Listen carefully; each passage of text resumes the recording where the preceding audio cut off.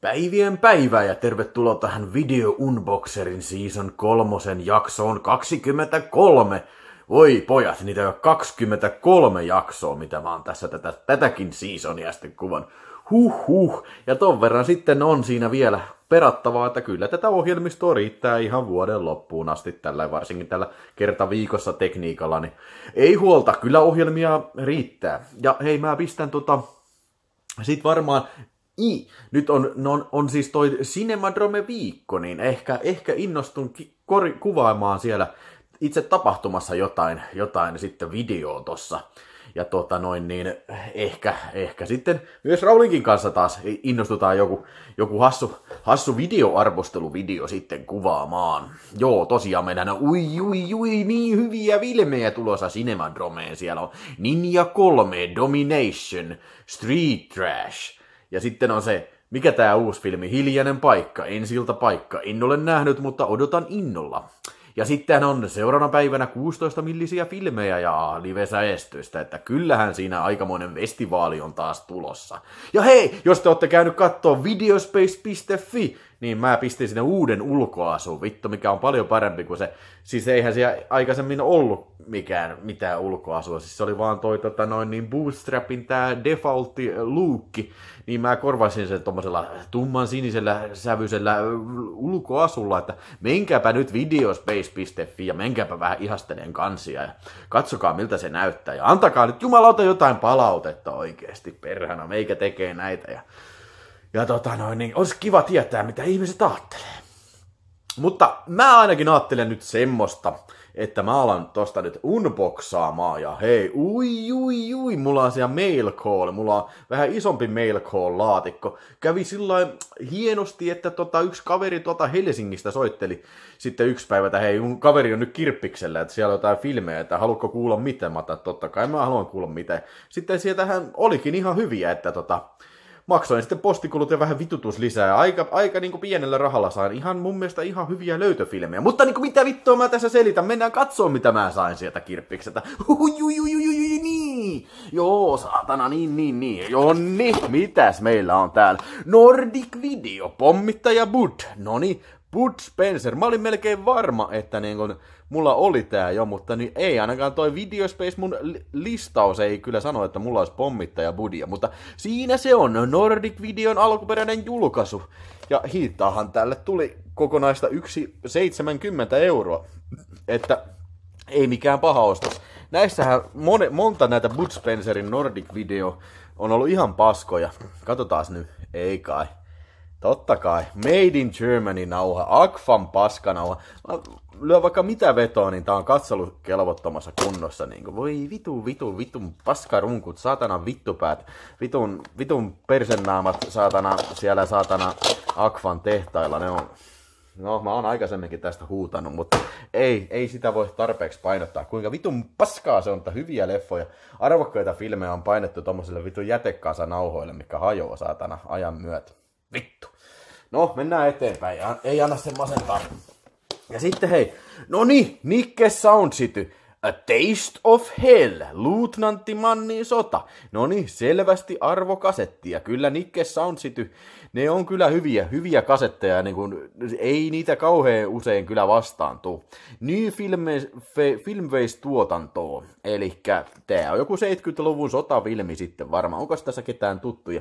William Smith, eli Conanin faija, se näyttelee tässä. Tämä on ilmeisesti joku Vietnam-elokuva. Joo, kuulostaa kyllä houkuttavalta. William Smith hän tunnetaan myös tosta, tosta, tosta. Öö, mikäs tää moottoripyöräjengit on, kun ne meni sinne?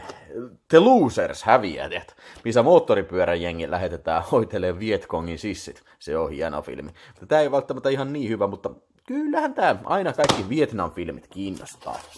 Sitten meillä on oi saakeli, oi saakeli. Smärtäst i västern. Uh, Star Video, Trix Presents, Lännen ovelimat. Oi vittu, tämähän oli, tämähän oli vähän, vähän kalliimpi. Tää oli vitose ja tää oli jo peräti 12 euroa perhana viekö. No mutta hei, Trix-videot ei ole kyllä niinku nekään todellakaan mitään yleisiä. Ja nämä on näitä vissiin ensimmäisiä Trix-video-julkaisuja, missä kannet on ruottiksi. Öö, joitain suomenkielisiä tekstejä lukuun ottamatta. Nämä on selvästi tarroja, mitä on pistetty tähän suomeksi sitten, joo. Mutta niin kuin tämä nyt ei välttämättä ole kyllä sieltä, sieltä ha- halutuimmasta päästä. Mullahan on tämä, se, oli joku, oliko se tota Video Towerin julkaisu, se Lännen Katalin tai joku tämmöinen. En ole todellakaan kattonut, vaikka se on ollut hyllyssä varmaan kohta kymmenen vuotta, koska eihän kaikkea nyt kerkeä katsomaan. Mutta nythän hieno homma, että mulla on nyt toinenkin tästä. Joo, mutta niin kuin näissä on, on paljon himottuja julkaisuja, esimerkiksi se toi, toi Väkivallan enkelit ja mitä kaikkea siinä on. Mullakin näitä jo muutama on hyllyssä.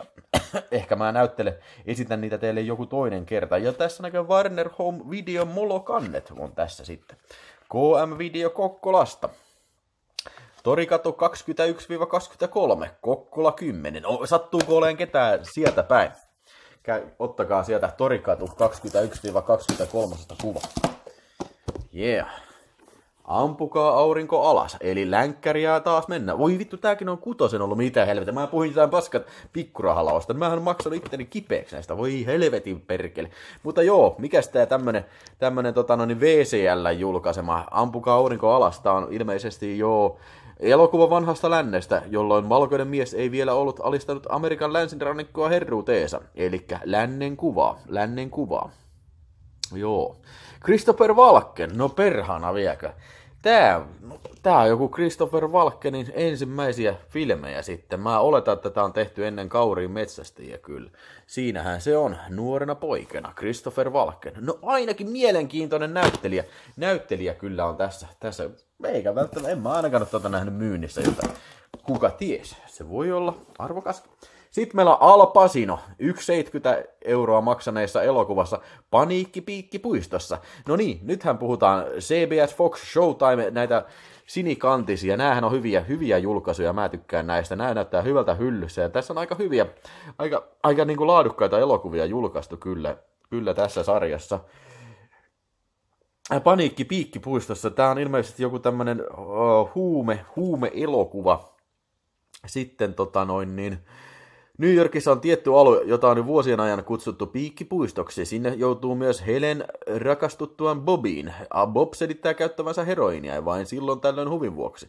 No niin, sehän on hauska harrastus. Hyvä Bob, anna mennä vaan, tykitä sitä rojua ränniin saakeli, niin saadaan tämmönen elokuva aikaiseksi. Joo, en ole tosiaan nähnyt, mutta mielenkiintoilla kyllä katselen tämmöisen. Alpakino elokuvan kyllä. Siitä meillä on vanha tuttu Piru Soikoon, erittäin hyvä elokuva. James Gunn elokuvassa Rollerball. No niin, tää on huippu. Tää on huippukela. Kaikki, jotka ei nähnyt tätä, niin menkää heti hommaamaan tää. Tää löytyy helposti DVDnä ja Blu-rayna. Kyllä, tota, no ei välttämättä suomalaisena Blu-rayna, mutta luulisin, että onko tää sua julkaistu edes DVDnä Suomessa? Kai se on. O, on se, on se joo, se MGM tupla julkaisu mulla. Mulla oli joskus, mutta sitten päivitin tonne Arrow Videon Blu-rayhin Hyvä leffa, 70-luvun dystopiaskifiä parhaimmillaan. Ja peräti kolme euroa on maksanut tästä, vaikka se, se kyllä löytyy tuota hyllystä jo ennestäänkin. Että jos joku, joku kaipaa rollerballia, niin täällä olisi toinen kappale sitten semmoitteille tyypille. Joo, että, että niin kuin, että siis tämä kertoo tästä tulevaisuuden sporttipelistä, missä niin kuin rulla luistellaan ympäri sellaista kaukaloa ja heitellään metallipalloa. Ja siinähän käy sitten aika kalpaten monelle ihmisille, ja sitten äh, idea on se, että tämä on tämä Jonathan X, mitä näyttelee mestarisesti James Caan. Niin äh, Jonathan X on paras pelaaja, mutta nämä tämä korporaatiot, mikä tätä peliä pyörittää, ne haluaa, että Jonathan X lopettaa, koska se on liian suosittu. Ne haluaa, että nämä pelaajat on sellaista harmaata massaa, eli se on jotenkin tämmöinen korporaatiokommunismimaailma, mistä tämä elokuva kertoo. Hyvin mielenkiintoinen 70-luvun kuvaus kyllä. Mutta Jonathan X ei aio lopettaa ja sitten nämä korporaatiot peli peliltä muuttaa sitä sääntöjä aina rankemmaksi raamkimmaksi. Ja siinä on kyllä asennetta, kun Jonathan X pistää äijä, äijä, tota noin, äijä kaatuu kuin rootteen tien. Kyllä, kyllä. Suosittelen ehdottomasti rollerballia kaikille ihmisille maailmassa. Sitten hei, meillä on taas CBS Foxin Showtime-julkaisu, vähän samaa kuin Panikki Piikki puistossa, eli huomaatte yhtäläisyyden kansissa. Joo, CBS Fox, Kosto elää kovikset, eli Revenge of the Nerds. No jumalationi, tämähän voi ollakin jo ihan arvokasta kamaa, koska niin kuin siis en mä ikinä nähnyt tätä ykköstä missään myynnissä. Niitähän niitä jatko-osia paljon näkee, mutta niin kuin mä en edes no ei noista kyllä kauheasti ajatellutkaan, että minkälainen tämä Revenge of the Nerdsien Suomi-julkaisu olisi. Mutta siinä se on jo, että ja yksi euro tämä on maksanut, varmasti on hintansa väärti kyllä tämä, tämäkin, tämäkin herkkupala. Otetaan toi tyhmä, tyhmä lappu tosta pois, niin päästään nauttimaan koko, kokonaisuudessaan tästä kuvasta. Hieno kansi. Juuri semmoinen kansi, niin kuin 80-luvulla ne vain sen osaisivat tehdä näitä tämmöisiä kansia. Eli kyseessähän on siis tämmöinen tissikomedia, tissikomedia 84 vuodelta, missä näyttelee Anthony Edwards, Robert Carradine ja jotain muita tyyppejä.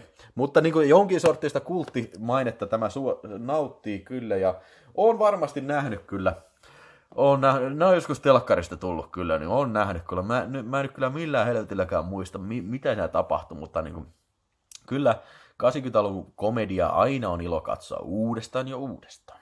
Ui, ui. Sitten hei vielä oli, oli Mail Callissa yksi elokuva.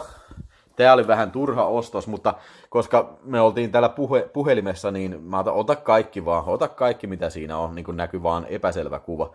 No ei se, oli se ihan selvä kuva, mutta ota kaikki vaan. Mutta en mä tajunnut, että tämä maksoi kympi, koska mulla löytyy jo Fall of, Rise and Fall of Idi Amin. Tämähän on hyvä julkaisu kyllä, mutta niin kuin, en mä nyt välttämättä toista kappaletta olisi tarvinnut. Että hei, jos joku tarvii uh, Rise and Fall of Idi Amin, niin täällä olisi Magnum Video julkaisu itse en ole vielä kerennyt katsomaan tätä elokuvaa, vaikka on kuullut, että tämä on kovalaatuinen exploitaatioelokuva, mutta ei ole vielä nyt tullut vielä katsottua, joten en osaa elokuvan laadusta sitten, sitten kyllä niin kuin sanoa sen, sen tota noin niin enempää, mutta kansihan on ihan hieno. Perustuu uskomattomiin raakoihin tositapahtumiin mielipuolisen diktaattorin hirmuvallasta. Oh yeah, oh yeah. Varmasti on hyvä filmi. Ja eikä, eikä todellakaan ole mikään kauhean yleinen Magnum-video julkaisu. Mutta siinä on hei tuplana olisi Rollerballia ja Idi Amini. Niille ketä kiinnostaa. Mutta sellainen oli meidän mail call ja holy shit, 12 minuuttia on jo nauhoitettu tätä videoa, joten aikamoinen Aikamoinen spektaakkeli tästäkin videosta taas tulee. Ja sitten vaan. Etsi löydä tuhoa. Mikäs tää tämmönen Kastle-video? K16 The Shirts. Rollol Rodolfo Ranni, Marta Gonzales, Luisiana Brando, Emilio Disi vaikuttaa kyllä harvinaisen tylsältä elokuvalta, niin kuin Kastle-videolla aina oli tapana julkaista näitä tämmöisiä mitättömiä paskalänttejä. Rikkaan perheen rauha häiriintyy, kun jengi tulee yllättäen e- ostamaan autoa, mutta mielessä onkin jotain muuta. Ostosta muodostuu painaja kun jengi poistuu paikalta, ei perhettä enää ole. Perheen vanhin tytär päättää hakea syylliset esiin vaikka yksi kerrallaan ja kostaa heille omalla tavallaan. No okei, okay, aika perus äh, rape and revenge juoni kyllä. En tiedä elokuvan laadusta yhtään mitään. Sitten hei, tässä on tämmönen joku hieno kohtalon tuulet. Siinä onkin ihan siisti kansi kyllä, hienosti maalattu. Maalattu kansi. Äh, Western Australia Limited. Okei, eli tää on joku aussi, exploitaatio. Äh, mikäs tän, mikäs tän tota noin niin alkuperä? The Winch of Jarrah. No, en mä tiedä. Tää vaikuttaa kyllä joltain draama-elokuvalta. Tässä on takakannessakin hirveästi tekstiä. En mä nyt jaksa lukea kyllä tätä. Mutta niinku joo, jos nyt muuta ei ole sanottavaa, niin hienosti maalattu kansi kyllä. Kiva homma. Oikein raskaan tuntuu. Tunti 30, no joo, mä tuntuu ihan niinku, paino ihan niinku kolmen tunnin kasetti onkohan se joku kolmen tunnin kanssa? Ei se ole, se on, se oli vaan painava kasetti. No hei, mutta ui, ui, ui, ui, no niin, no niin, no niin, nyt puhutaan asiaa. Vestron Video International, Chinese Boxes. No niin, hei, joo, mä tykkään kyllä Vestron Video Internationalista. Joskin tää taitaa olla niitä yleisempiä julkaisuja kyllä, että tää ei ole mitään verrattuna esimerkiksi, esimerkiksi tota noin niin, äh, dinosauruslauksan tuhoon tai shopping malliin tai terrorvisioon tai muihin herkkupaloihin, mitä ne on julkaissut, mutta niin kuin, Tämä on kyllä aina hieno lisäys saada uutta Vestronia. Ja Vestronissa on se hieno puoli, että ne on aika, aika laadukkaita julkaisuja. Musta tuntuu, että Vestron videoäijät, niin ne on, ne on vähän niin kuin ottanut tämmöisiä ehkä enemmän genre-elokuvaa valikoimiinsa. Kyllä musta ainakin tuntuu siltä. Nämä on paljon, paljon hyviä, hyviä leffoja ja vähän sen tyylistä kamaa, mitä ei muut levittäjät oikein julkaissut Suomessa. Ja niin kuin, äh, loistava suomeksi tekstitetyt kaikki nämä trailerit ja niin kuin, tehty ne nimiplanssit on monesti tehty niin kuin, elokuvan alussa suomeksi. Siis käytäntö, mitä ei kyllä mun tietääkseni kauhean moni muu levittäjä kyllä harrastanut. Siis tarkoitan sitä, että kun äh, elokuva alkaa, siinä tulee nimi englanniksi, se on peitetty ja siihen on pistetty niin kuin, niin kuin suomen, suomenkielisen tyylisesti niin kuin se nimi siihen päälle. Että niin kuin, on, on parissa filmissä nähnyt sitä ja se on, se on jotenkin unique, unique. Mutta niin kuin Chinese Boxes niin kuin itse elokuvasta, niin en siitä tiedä mitään, mutta ehdottomasti menee hyllyyn ylpeästi muiden West, Westron video julkaisujen kanssa. Fort Apache Bronx. No niin, siinähän sitä on. Eli tää mulla muistaakseni jo on tuolla, mutta niin kuin, muistaakseni tää nyt on, on tupla kappale. En ole ihan varma kyllä, mutta niin kuin, joo, siis Tietysti aina tätä suosikkisarjaa Videotraken kultakantista. Näin on haluttua kamaa kyllä ja eikä syyttä, koska ne näyttää hyviltä. Ja tota, tässä näyttäisi olevan toi, toi tota Paul Newman ja sitten tota Ken Wall. E, ilmeisesti tää on joku tämmönen, no, slummialue Bronxissa ja sitten se varmaan niinku piiritetään tai jotain. Tää on semmonen joku tämmönen 70-luku joku tämmönen rotumellakka-systeemi. Ilmeisesti tää on siis niinku vaan villi arvaus, en tiedä. Mutta niinku hyvältä näyttää. Perse. Alkaa taas kasa, kasa kasva. Fighter Kit. No tää paska on varmasti ollut. Tää on varmasti ollut ja tätä ei kukaan halua kyllä kuulla tästä paskasta yhtään mitä. Aurinko häikäisee tän. Joo, tää on, tää on ollut jo aikaisemmin ja tää on näitä jotain Big Partnerin näitä jotain jotain niinku Näitä halpiskasetteja. Masentava. Masentava. Hollywood Home Video, sehän se on. Joo. Vittuun tommoset. Sitten meillä on Euroopan Visionin vihreä kantista suuri karnevaali. Le Grand Carnaval. No niin, tää on joku tämmönen eurooppalainen filmi ja ellen väärin arvaa kyseessä voisi olla tota niin, sota-elokuva. Marraskuun 8. 1942 amerikkalainen laivasto saapuu Pohjois-Afrikan rannikolle. Niinpä niin, sota-elokuva. Joo. En tiedä sitten, on, tää on ilmeisesti ranskalainen sota-elokuva ja tota, tosiaan niin, niin, niin, vittu mä taisin hajottaa nyt nämä kannet. No, ei mahda, mutta ne oli kyllä rikki jo alusta, alusta asti. Mutta joo, nämä on hienoja julkaisuja, nämä Euroopan Visionin vihreä kantiset. Nämä on ihan, ihan kyllä niin kuin varmaan kysyttyä kama. En, en nyt varmaan tuskin tämä filmi. Mutta niin kuin tässä sarjassa on julkaistu paljon hyviä, esimerkiksi Syyttömän pakoja, King Kong, Kauhun saara.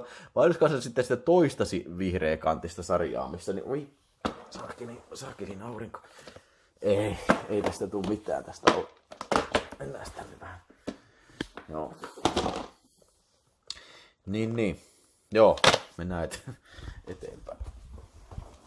Mä hukkasin ajatuksen tossa, tossa, tossa aurinkoa väistellessä.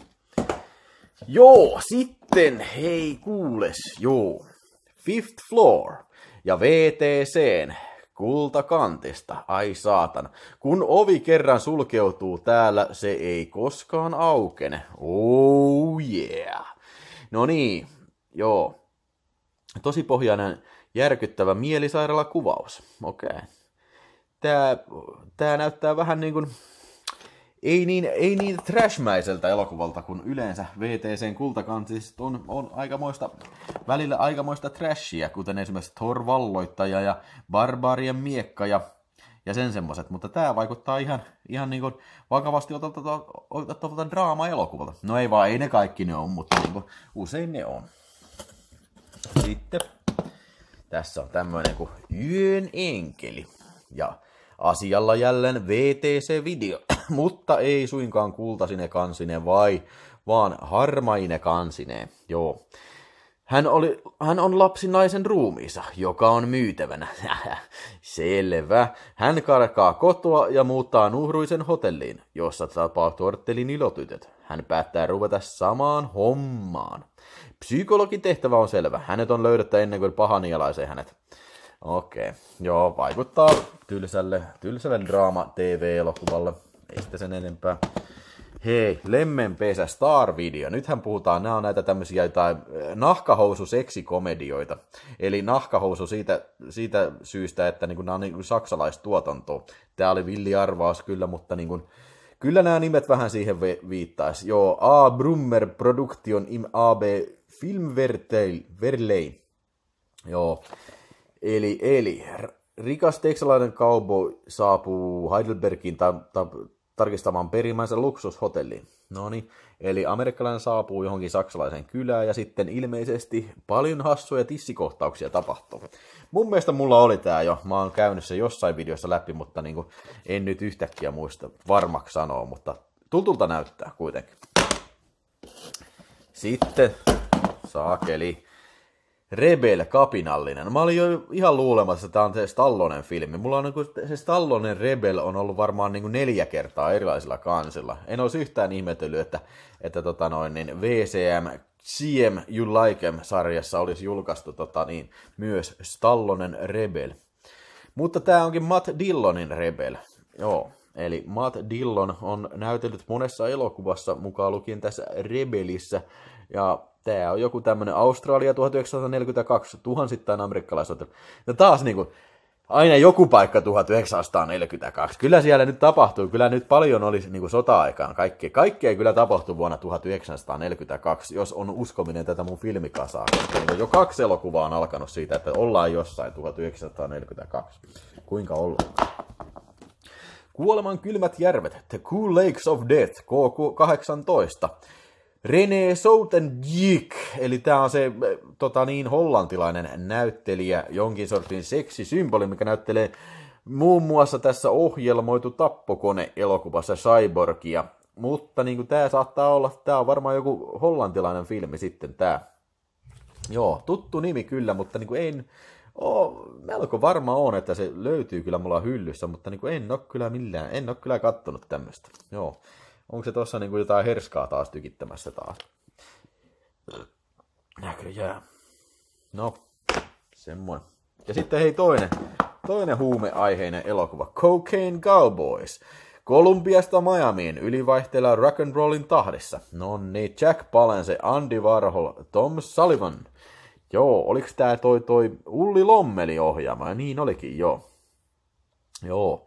Tämähän on varmasti laatukamaa. Kasinovideon. Nämä oli kummakin kasinovideo. Tätä tämmöistä harmaa, harmaa kantista sarjaa, kyllä. Kasinovideo, asiavideo. Joo. Mutta Jack Palance on aina, aina kovaa kamaa kyllä näissä. Nämä mennyt vähän nopeammin läpi, ettei, että tota, ette te, ette te kyllästy. Moni aina sanoo, että joo, ei, ei kun vedä vaan pitkiä, mutta niin kuin joo. Räjähtävän ja vauhdikas elokuva kieltolain kuumista päivästä Chicagon loistelijassa yökerhoissa. Joo, Golden Club. Ketäs tässä on? Aaron, Spell- Aaron Spelling tuotanto, eli TV-elokuva. Eli siis Aaron Spelling on muun muassa tuottanut Beverly Hills 9010 bla bla bla nuorisosarja ja muita vastaavia sarjoja. Dynastian John Forsyth ja Loni Anderson kovassa gangsterielokuvassa. Mä oon lyö vaikka mitä vetoon, toi ei ole kova gangsterielokuva. Esimerkiksi Once Upon Time in America. Se, mä voisin sanoa, että okei, se on kova gangsterielokuva. Kummiseta on kova gangsterielokuva, mutta mä vähän veikkaan, että tämä Aaron Spellingin Golden Club ei ole kova gangsterielokuva. Eikä tääkään näytä kyllä kauhean kovalta. Naka, napakymppi Maikka Loni Anderson. Tämä on ilmeisesti tämä tyyppi, joka on kasannut tämän laatikon, on tahalteen pistänyt Loni Andersonin elokuvat. Kuka on Loni Anderson? Who the fuck is that bitch? En mä ainakaan ikinä kuulu, kuulu Loni Andersonista. Kenties tämä on niin joku tämmöinen TV-suuruus, mikä on ollut mun, ennen mun aikaa sitten niin paljon TV-jutuissa. Tässä on myös hirveä romaani takakannessa. En ala lukeen kyllä nyt. Näyttää tylsältä. Mikä julkaisija tämä on? Joku ihme... No LM Media. Olipa oudon näköinen. Oudon näköiset punaiset kannat, joo. Ohi. Ah, ja. Sitten taas, taas näitä Great Movies, VTC-jäljittäjät. Tämä on just tätä niin myyntikasettisarjaa, ABC-video. Niin nämä, nämä on jotenkin tosi, en mä tiedä, kukaan ei varmasti kerää, kerää tätä sarjaa, koska niin kuin, tämä on ihan paskaa täynnä.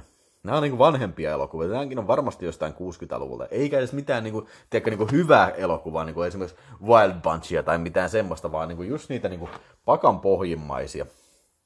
Että niin kuin, mitä kuka, ne on varmaan saanut hirveän paketin justin tämä ABC-video on tuonut, että joo, okei, joo, saatte, saatte niin kuin 30 filmiä, niin saatte, saatte viidellä tonnilla julkaista niin kuin näitä. Ja nehän on ottanut kyllä, tarttunut syöttiä, julkaissut hirveän määrän näitä leffoja, mitä ei kukaan jaksa enää katsoa kyllä, eikä varmaan silloinkaan jaksa. Aika masentavaa tekstiä kyllä, mutta hei, sellaista elämää Peiten nimi De- Dancer. Hän oli pakko valita vaarallinen tehtävä tai intohimoinen suhde. King Features Presents, eli King Features on kans tää tämmönen TV, TV, tota niin, niin, TV-firma, mikä sitä näyttää kyllä vähän astetta mielenkiintoiselta. Tässä on tämä Anne Goodwin, Kate Capshaw. Eikö tämä ole se sama muija, ketä on tuossa India Jones ja Tuomion ten- temppelissä, eli Spielbergin vaimo. En mä tiedä, onko se enää, mutta ainakin joskus on ollut. Siis muija, joka pilas oikeastaan tämän Tuomion temppeli. Se on ärsyttävä, ärsyttävä kyllä, niin se, se kiljuu koko ajan. Joo, no ei sitä sen enempää, mutta niin kuin, joo, kyllä se on varmaan tämä sama muija. Ja tämä on niin kuin ilmeisesti, hänet viedään, vedetään mukaan likaiseen ja väkivaltaisen tehtävän. Jälleen kerran on hänen valittava tehtävänsä tai rakkaudensa. Mikähän se on, että kun on tämmöinen nais, naistappaja, niin sillä on, aina, pitää, sillä on aina joku rakkaus. Pitää valita rakkaus tai tehtävä. Niin kuin, harvoin, jos, on, niin kuin, jos mies näyttelee palkkamurhaa, niin harvoin sillä on mikä, että ei vittu, pitäisi kyllä valita muijan tai, tai niin kuin näiden tehtävien väliltä. Ei, ei ole semmoista kyllä kauhean usein. No, miettikää sitä ajatusta. Mennään tästä vielä. Pari vielä jaksaa, pari vielä jaksaa ja sitten tulee Super Shaki, Super Shaki. Äh, Agent Orange, tuhon siemen. Unnatural Causes. Eli, eli, Agent Orange. Kaikki varmaan tietävät, mitä myrkkyä on Agent Orange. Se oli sitä, sitä kamaa, mitä amerikkalaiset tiputti tonneittain, miljoonia tonneja tiputti tonne Vietnamin viidakoihin. Ja ideana oli se, että lehdet siis puut pudottaa lehdensä sillä että se paljastaa tota noin, niin, siis Viet, Vietkong sissit siellä sitten maastossa paremmin. Mä en itse asiassa tiedä, niin kuin, toimiko se oikeasti, että siis pudottiko puut lehteensä. Mutta se ainakin on todistettu se, että niin kuin se aiheutti kyllä helvesti epämuodostumia ja kaiken näköisiä terveydellisiä ongelmia sekä amerikkalaisia että vietnamilaisille siviiliväestölle. Kyllä. Ja tämä kertoo nyt siitä sitten. Kemiallisia aseita käyttämällä riisui USA Vietnamin viidakon aseista ja sai esille sissit piilopaikoistaan. No en mä tiedä, aika iso väittämä, koska niin en mä tiedä, oliko sen sodan kulun kannalta kauheasti merkitystä. Yksi kauheimmista aineista oli Agent Orange. Tuhoaa se, no mähän selitettiin, mähän, mähän selitin jo ton. Mutta joo, tää on kukaan video julkaisut, varmaan joku taas TV-elokuva. Mutta tämä ei, seuraava viimeinen tästä laatikosta ei ole mikään TV-elokuva. Tämä oikeastaan kuuluisa supersäkki, joten olkoon tämmönen, tämmönen esi-supersäkki tässä. Ui, ui, ui, Richard Harrison. John Brown, mustaa kultaa, eli tämähän on italialainen toimintaelokuva. Ja taas jälleen KM-video asialla. Tämä on se niinku tyhmimmällä kansella, vähän huonommalla kansella. Mennään nyt kattoon oikein. Mä näytän sen hienomman kannen tästä samasta elokuvasta. Ai vittu, jalat, jalat puutunut tässä kun makasta. Joo, mutta tosiaan mennään tänne Videotime-osastolle. Ei kun täällä, mä en enää itekään muista missä niitä on. Täällä on meidän Videotime. Tässä on mustaa kultaa on tässä. Oi, että nämä on niin, kuin niin hienot kannet. Mutta siis se on, vaikka tää on musta kulta, niin tää on mustaa kulta, niin näähän on kyllä niinku sama elokuva. Joo, mustaa kultaa. Ja siis mä kattelin itse asiassa tämän mustaa kultaa, eli Black Gold Dossier. Ja siis niin kuin täytyy kyllä sanoa, että niin kuin, saatanan tylsä elokuva. että niin kuin, että en mä tiedä minkä takia mä sanoin ui ui ui. No sen takia, että koska videotime ja hienot kannet, mutta niin kuin, kyllähän se nyt ihan jos vakavasti ajatellaan, niin perkeleen tylsä elokuva oli kyseessä kyllä, että en voi, en voi kyllä niin kuin kauheasti suunnitella kyllä suositella kyllä yhtään kenellekään tätä, tätäkään elokuvaa. Video time is here. No, se me kyllä tiedetään. Huh huh. Oi oi. Supersäkki. Padam! Oi oi oi oi oi oi. Porteri niin. Dirk Brogande. Bogarde. Charlotte Rampling. No, en mä nyt ehkä välttämättä tätä supersäkkiin niin kuin änkenyt, mutta mä ajattelin, että tää nyt on, tää on tämmönen niin kuin periaate, että jokainen Nordic-videon sateenkaari-video menee automaattisesti tästä lähtien supersäkkiin. Ja tää on semmonen leffa, mitä mulla ei aikaisemmin ollut hyllyssä. Mä en ole itse asiassa ikinä edes nähnyt tätä. Mä oon kuullut, että tää on niin hyvä elokuva ja kulttielokuva, eikä mikään roska-elokuva edes. Mutta niin kuin, tämä kansi on kyllä jäänyt mieleen, mieleen kyllä niin kuin, pitkästi, niin kuin ihan jo lapsuudesta lähtien, että siinä on tommonen niin kuin, vähän, vähän kinkin näköinen täti, millä on tommonen, ja tässä on vielä tämmöinen sensuuripalkki, mikä on vähän niin kuin huonosti edes asetettu. Siellä näkyy nännit ihan selvästi ainakin toisessa. Mitä tässä lukee? En av de mest chockerande filmerna i vår tid. Osmigad brutal. En mä tiedä mitä on Osmigad, mutta niin kuin joku joku niin kuin sokeravin filmi, aikamme jotain sokerammipi filmi ja jotain Osmigad ja Brutal. Eli Brutal. Okei. Okay. Hei, mutta siis keskitysleiri exploitaatio on aina hyväksi, mutta niin kuin mä oon ymmärtänyt, että tämä on vähän niin kuin, tämä on vähän A-luokan filmi kyllä. Korjatkaa, jos olen väärässä. mutta joo, ainakin Charlotte Rampling on ollut laadukkaissa elokuvassa, muun muassa esimerkiksi uh, Chardots Sean Korinen kanssa. Sehän on loistava elokuva se. Mutta joo, tämmönen oli hei, supersäkki. Mä en ole tosiaan nähnyt, mä en osaa sanoa. Mut, mut katsotaan vielä, katsotaan vielä tän koto... Ei vittu, ei vittu, ei vittu ja vittu, täällä on VCM-kasetti sisällä. No okei, okay, mä en anna se häiritä, koska niinku, mä en oo ehkä semmonen kasettihifisti, kun monet keräilijät on, että pitää olla justiin se alkuperäinen kasetti. Mutta siis pointtihan on se, että niinku, tässä ei ole niin alkuperäinen kasetti, vaan nämä on näitä VTC, VCM uudelleen julkaisujen kasetteja. Niissä on varmaan about samankaltainen kansi, paitsi tässä lukee toi VCM, VTC. Mutta, mutta jos se kerta kasetti pyörii ja kuva näkyy, niin mä en ole nyt se, siis en, en ole se niin kauhean hifisti sen, sen suhteen. Siis ellei toki siinä kasen, kasetin sisällössä on niin merkittäviä eroja. Siis sanotaan, että niin kuin on vaikka leikattu ja leikkaamaton kasetti, niin sillä on kyllä tietysti väliä, väliä tosi paljon, mutta niin kuin, jos siinä on vain erilainen niin kuin tarra ja niin kuin, okei, ehkä erilainen alkuvaroitus, niin, ja muuten niin kuin, filmi on täsmälleen samasta masterista vedetty, niin hei, oikeasti, I don't, I don't care, äh, että niin kuin, mulle käy, käy kumpikin. En mä nyt ala mitään kasetteja vaihteleen sitten tyyppien kanssa, jotka haluaa niin kuin sen alkuperäisen kasetin sinne, mutta niin kuin, siinä vaan mun mun point, mutta niin kuin siis se, että en mä nyt aloa, aloa niin kuin, siis niin kuin double dippaamaankaan, että tiedätkö, niin kuin ostaa nyt uut, toista yöportteria, että, että siellä olisi niin kuin se Nordi, alkuperäinen Nordikin kasetti sisällä, niin en, en mä semmoiseen ala kyllä, että mä jätän ne hommat toisille. Mulle riittää yksi kotelo, yksi kopio nauhasta, that's it. Mä digitoin sen ja sit pistän hylly, hyllyyn kuule, hyllyyn säilytykseen. Joo. Yes sir, siinä oli taas melko potti. Aika hyviä kasetteja kyllä ainakin mun mielestä oli tässäkin laatikossa. Ja kyllä näitä supersäkki, mä, mä voin sen verran tiisa, tiisata teitä, että supersäkissä on muutama aika hyvä, hyvä vilkka mä oon pistänyt syrjään sitten kyllä. Että ui, ui, ui, siellä on kovaa matskua. Kovaa matskua kyllä. Ja saakeli, tätä video on nyt kestänyt taas puoli tuntia reilusti, niin eiköhän se ole aika pistää nyt taas pillit pussiin. Hei, tykätkää, jakakaa. Mä haluan niin enemmän katsoja näille videoille, että tota noin, niin ne, se aina innostaa mua, mua sitten tekemään lisää. Ja antakaa palautetta oikeasti, se, mä, mä tykkään siitä. Ja se on tärkeää kyllä niin tämän, tämän sarjan jatkumisen kannalta. Kyllä, heittäkää kuule. Juttuja mulle. Huhhuh, ai, ai, ai. jalat puutuu jo selkää särkeä. Kyllä, nyt, nyt se on aika lopettaa. Mutta hei, ensi viikko, moro!